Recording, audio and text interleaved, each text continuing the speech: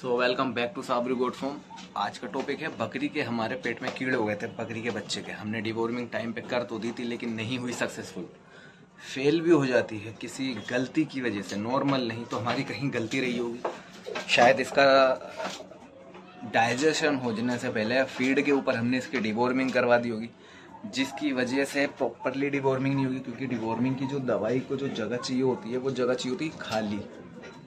तो शायद इसका पेट खाली नहीं होगा, इस चक्कर में डिवॉर्मिंग नहीं हो पाई होगी।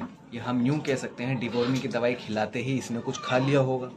तो कुछ कारण रहते हैं जिसकी वजह से रह जाती है डिवॉर्मिंग तो हमें ज़्यादातर मेथड जो है अलग अलग तरीके से अपनाना चाहिए। मेथड कैसे अपनाना चाहिए अलग अलग जैसे कि मान सकते हैं एल्बो मार से करवा दी, और उसके बाद में एल्बो बार से करवाने के बाद में आप करवा सकते हैं हाईटेक इंजेक्शन से।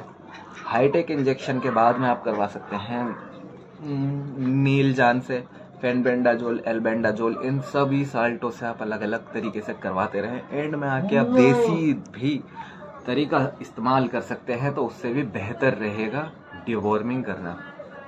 तो आज का केस ये है कि बकरी की डिवॉर्मिंग कर दी थी इसने पाँच छः दिन से खाना पीना बंद अचानक से कर दिया सुस्त खड़ी रहना बुखार सा चढ़ा रहना।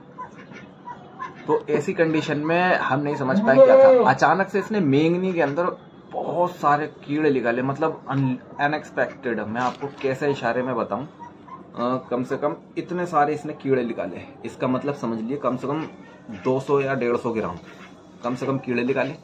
एक कीड़ा इतना लंबा भी निकला तो समझ में आ गया, मैटर कुछ भी ज़्यादा दिमाग पे ज़ोर देने की नहीं है कि बकरे को डिवॉर्मिंग की ज़रूरत है इस चक्कर में हमने।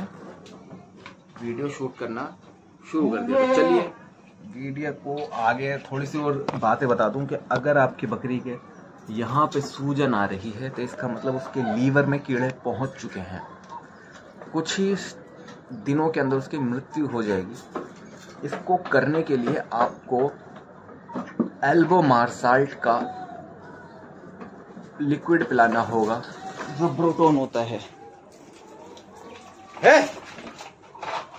जो प्रोटोन होता है एल्बो मार्साल्ट का, वो आपको पिलाना होगा, वही काम करेगा और उसके अलावा कुछ भी ऑप्शन नहीं है। वो करने के बाद डबल डोज देना होगा आपको, जैसे कि मान लीजिए डबल टाइमिंग में डोज देना होगा, जैसे कि मान लीजिए, आज आपने दे दिया और कल फिर आपको दोबारा देना होगा। तब जाके उसकी सूजन हैंड टू हैंड यहाँ से गायब भी हो जाएगी। गायब होने के बाद में फिर वो ठीक होना शुरू हो जाएगी। फिर उसको लीवर टोनिक की भी ज़रूरत है। अगर ऐसा नहीं करेंगे तो यहाँ पे सूजन रहेगी, खाना पीना बंद हो जाएगा इंजेक्शन किसी काम के नहीं है। कोई इंजेक्शन नहीं सूजन खत्म कर सकता उसका दर्द सूजन बुखार कुछ भी नाल जैसे दे दो नहीं रुकेगा। तो तो हम डिवॉर्मिंग के लिए जो लेकर आए हैं अपनी बकरी के लिए तो वो इंजेक्शन तो नहीं है खैर लेकिन हमारा आ, वो सॉरी लिक्विड है। तो लिक्विड जो है हमारा ये मेरा पुराना साल्ट है बहुत अच्छा डिवॉर्मिंग के लिए होता है। तो नीलान नील जान है। तो तीन किलो वज़न अगर जिस बकरी सॉरी दस की बॉडी वेट एक एम एल तीन किलो की वज़न की बकरी को दिया जाएगा। कोई बकरी अगर तीस किलो की है तो दस एम एल कोई अगर बकरी पंद्रह किलो की है तो उसे पाँच एम एल सही कह रहा हूँ ना? हाँ यार, ऐसे ही थोड़ा गुणा भाग लगाना पड़ेगा। एक एम एल पर तीन के जी ठीक है ना? तीन पंजे पंद्रह, ठीक है ना? तो पाँच एम एल तो मेरे हिसाब से इस बकरी का वज़न मुश्किल से मुश्किल बारह किलो होगा शायद ठीक है ना? तो अभी मैं आपको दिखा देता हूँ बैक करके भी। तो मैं इसको पिलाऊँगा करीबन करीबन तीन कम तीन तीन नौ छः तीन तीन नौ तीन चौक बारह। पाँच एम एल करीबन करीबन इसे पिला दूँगा डिबोर्मिंग हो जाएगी। और इस बकरी को मैंने कल एल्बोमार पिलाई थी। आज मैं इसको नील जान पिला रहा हूँ ठीक है? क्योंकि एल्बोमार पे ख़त्म हो गई वरना मैं वही पिलाता। इसको चलिए देखते हैं बकरी की कंडीशन क्या है। तो ये है बकरी की कंडीशन बकरी बिल्कुल सुस्त खड़ी है। कान हिला रही है एक्टिव है। लेकिन खाना पीना नहीं कर रही है एक्टिव नज़र ही नहीं आ रही है। आँखें भी इसने झुका रखी हैं।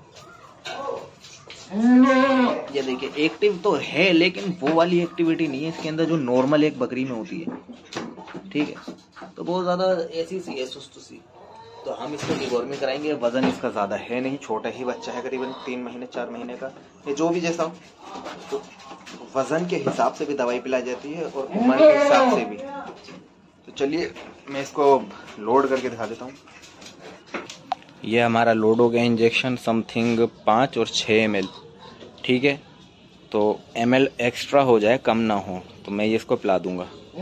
सभी की डिवॉर्मिंग इस हिसाब से मुझे दोबारा करनी होगी, ठीक है? ये प्रेग्नेंट हैं दो बकरियाँ आई थिंक कंफर्मेशन हो चुकी है, लेकिन फिर भी रिपीट हो जाए, कोई पता नहीं है। तो मैं इसी से करूँगा। नील जान, सीरप से।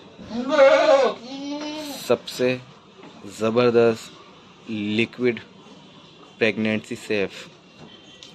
चलिए, बकरी की तरफ़ चलते हैं और उसको मैं पिला दूँ। वीडियो पसंद आई इन्फॉर्मेशन पसंद आई तो like comment share and subscribe करें। क्लिक करें बेल आइकन थैंक यू